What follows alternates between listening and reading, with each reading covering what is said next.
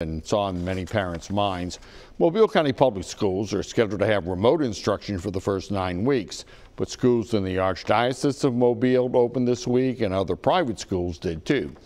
Now, Mobile County Health Director Dr. Bernard Eichhold says the percent of lab tests showing positive for coronavirus last week was 16 percent.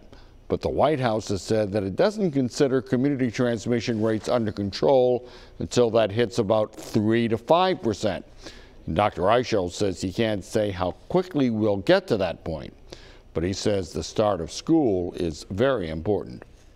Whether the in-class situation is going to increase the transmission rates, it probably will.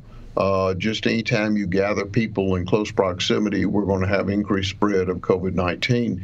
But we are very cautious and working with the school system to make it safe, uh, and uh, we'll just have to watch the data uh, and respond uh, uh, accordingly as tests become positive. And of course, a lot of people, especially parents, will be watching that data. Some schools are reporting positive tests already, as well as COVID related absences. Reporting live, Steve Alexander, Fox 10 News.